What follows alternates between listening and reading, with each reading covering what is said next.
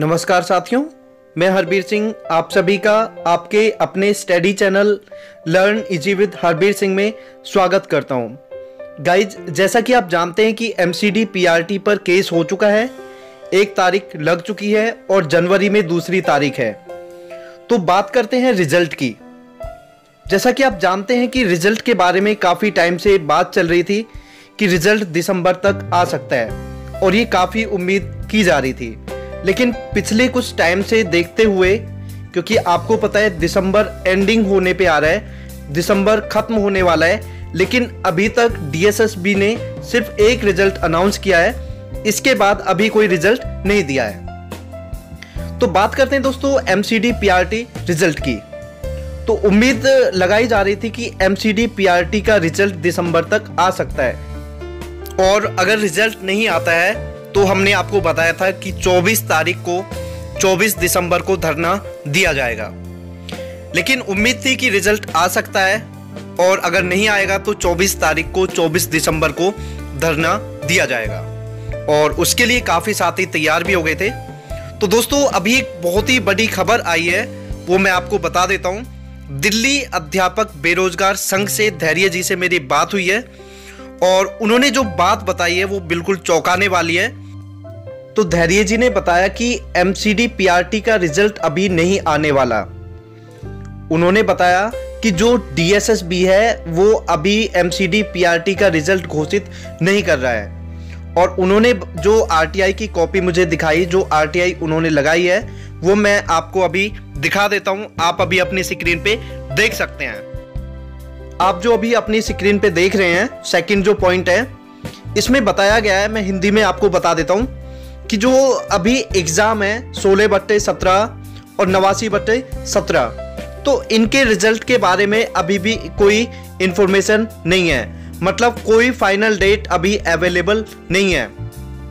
आप देख पा रहे होंगे फाइनल डेट अभी कोई अनाउंस नहीं है कि वो रिज़ल्ट कब तक देंगे।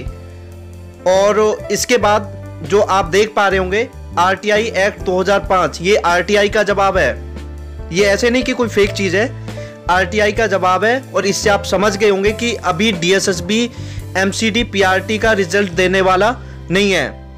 तो दोस्तों, दिल्ली अध्यापक बेरोजगार संघ से जो मेरी धैर्य जी से बात हुई थी तो धैर्य जी ने क्या कहा है कि जो 24 तारीख को उनका धरना होने वाला है, जो वो धरना देने वाले हैं तो उसमें बोल रहे हैं कि वो चाहते हैं कि ज़्यादा से ज़्यादा लोग वहाँ पे पहुँचे, जिससे डीएसएसबी पे दबाव बनाया जाए और रिज़ल्ट जल्दी से लाया जाए। क्योंकि डीएसएसबी अभी किसी भी एंगल से रिज़ल्ट नहीं देने वाला।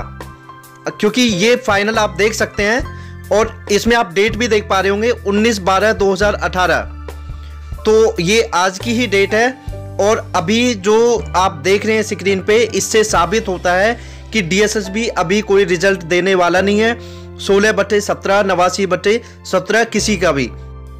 तो साथियों, जो भी दोस्त, जो भी साथी रिज़ल्ट चाहता है 24 दिसंबर 2018 को करकर डूमा जो मेट्रो स्टेशन है, वहाँ पे पहुँचे। और ज़्यादा जानकारी के लिए मैंने आपको बता रखा है। डिस्क्रिप्शन बॉक्स में व्हाट्सएप ग्रुप का लिंक है। उस ग्रुप में ज्वाइन होने से आप धैर्य जी को सीधा मैसेज कर सकते हैं। वो वहाँ पे उस ग्रुप में हैं। तो आप उनसे वहाँ पे कांटेक्ट कर सकते हैं। इसके बाद जो भी साथी व्हाट्सएप पे study materials, free study materials पाना चाहता है तो मुझे डिस्क्रिप्शन बॉक्स में कॉन्टैक्ट नंबर है। वहाँ पे अपना नाम स्टेट और क्वालिफिकेशन बता के वहाँ पे ऐड हो सकते हैं और वहाँ पे फ्री स्टडी मटेरियल मिलता रहेगा। तो दोस्तों, एक बार फिर बताना चाहता हूँ कि अपने हक के लिए ज़रूर पहुँचें, क्योंकि अगर आप नहीं पहुँचते हैं तो आने वाले टाइम में 2019 में आपको पता है इलेक्शन है केस चल रहा है और ऐसा होता रहा तो भर्ती बहुत लंबी खिंच जाएगी। तो आप ज़्यादा से ज़्यादा संख्या में वहाँ पे पहुँचें। जिससे आपको आपका हक मिल सके, क्योंकि डीएसएसबी अभी भी कोई रिज़ल्ट देने के मूड में नहीं है। जैसा कि आपने अभी आरटीआई में देखा है तो दोस्तों, उम्मीद करता हूँ आप सारी बातें समझ गए होंगे। ज़्यादा से ज़्यादा संख्या में जो व्हाट्सएप ग्रुप है, वो ज्वाइन करें और अपने फ्रेंड्स को भी रिकमेंड करें कि उस ग्रुप के थ्रू आप ज्वाइन हो सकते हैं और धैर्य जी से वहाँ पे बात कर सकते हैं। तो दोस्तों, यही सब कहते हुए उम्मीद करता हूँ कि आप सहयोग करेंगे। धैर्य जी का भी और अपने हक के लिए ज़रूर लड़ेंगे। तो guys good bye take care and thank you